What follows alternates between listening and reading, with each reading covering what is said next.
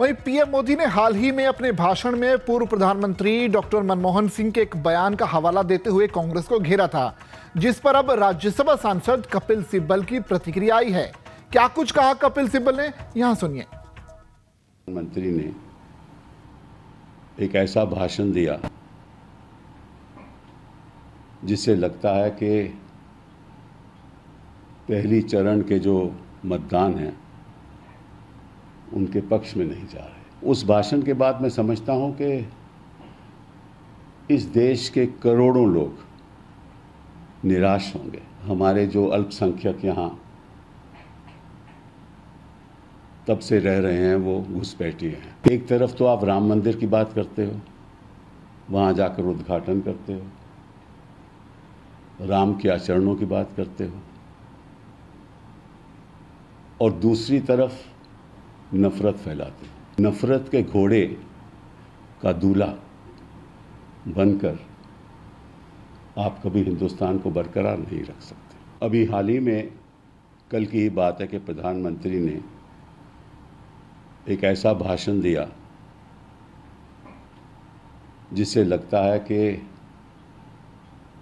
पहली चरण के जो मतदान हैं, उनके पक्ष में नहीं जा रहे।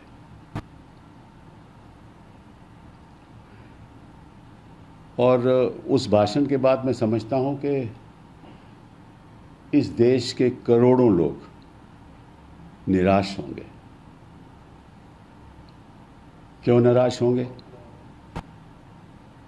कि 1950 के बाद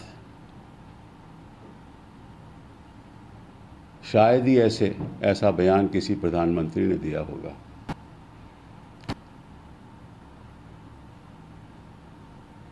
जो इशारा करता है कि हमारे जो अल्पसंख्यक यहाँ तब से रह रहे हैं, वो घुसपैठी हैं। ये किस किस्म की राजनीति है? और किस किस किस्म की संस्कृति है?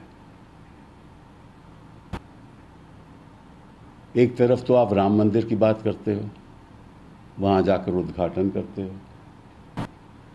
राम के आचरणों की बात करते हो। और दूसरी तरफ़ नफरत फैलाते हो। कहाँ गया आपका सबका साथ? कहाँ गया आपका सबका विकास? और कहाँ गया आपका सबका विश्वास?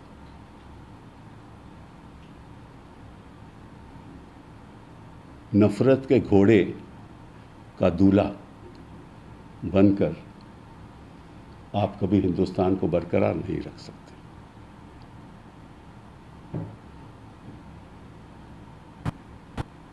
मैं, मुझे इस बात पे बहुत निराशा है, क्योंकि हम प्रधानमंत्री के पद की इज़्ज़त करते हैं। वो जो भी उस पद पे बैठा हो, उसकी भी इज़्ज़त करते हैं। लेकिन जब प्रधानमंत्री इज़्ज़त के लायक न रहे तो जो भी बुद्धिजीवी लोग हैं इस देश में, उनको आवाज़ उठानी चाहिए।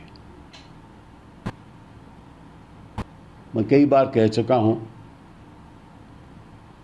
कि मोहन भागवत जी भी चुप हैं। क्यों चुप हैं?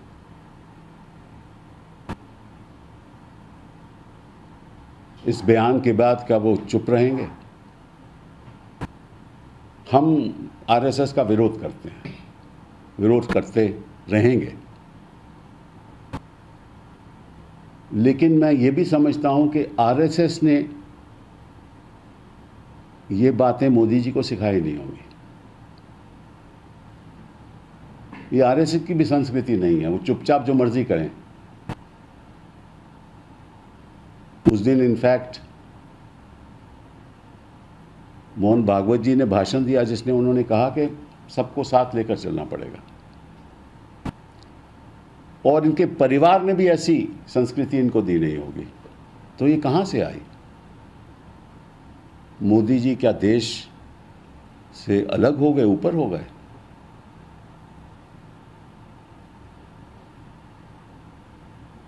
बात करते हैं संपत्ति की।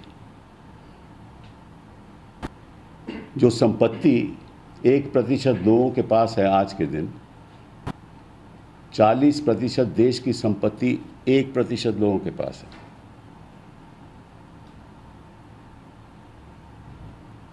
और आप भाषण दे रहे हो कि महिलाओं के जेवर, महिलाओं के गहने, वो संपत्ति कांग्रेस पार्टी विस्फोट विस्फोटियों को देगी। टेररिस्ट को देगी।